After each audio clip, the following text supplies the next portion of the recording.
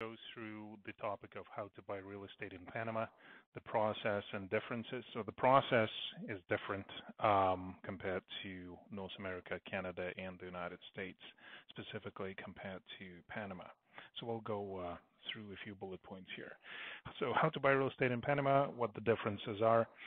First of all, there's no need to buy uh, to be a resident or citizen. Uh, anybody can buy the real estate. Process is different from the U.S. or Canada, though.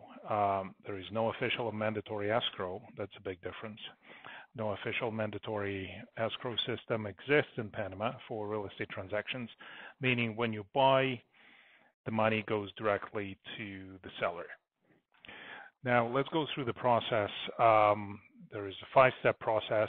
One is make formal offer, non-binding agreement. It's a non-binding agreement when the offer is made, unlike um, in Canada or the United States.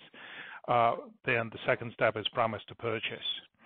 So promise to purchase is uh, binding. The buyer puts down normally 10%. This is an unrefundable. And seller uses these funds to pay off taxes for the property prior to the final step where the seller transfers the deed to the buyer. At the notary, the seller must show that the taxes for the transfer of property have already been paid. That's the reason 10% of down payment is necessary. Otherwise, the seller will have to come out of pocket, which is not always possible. Uh, so these 10% uh, will go towards the transfer tax, which is around 2%, and the capital gains of 3%. Uh, it's five in total, but 10% is uh, the norm of down payment, and that's usually non-refundable. Uh, step number three, a final contract is signed at the notary. That's binding. The property hasn't been transferred yet. It can take over a month, four to six weeks, in my experience. But the money must be available from the buyer to the seller in a form of cashier's check or irrevocable LC, letter of credit. Uh, step number four, although the escrow is not mandatory in Panama, it is still possible, and a lot of people do it this way if they don't trust the, the seller.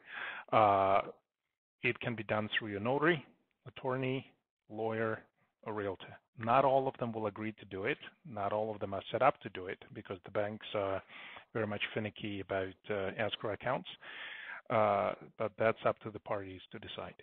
And the last step, once you sign everything at the notary, it goes to public registry, where the ownership actually gets transferred.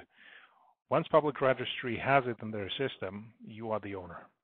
It doesn't matter whether you get the deed or not. As long as you can look it up the registry, you are the owner. And this process may take three to six weeks, sometimes longer if there are holidays involved, like in November.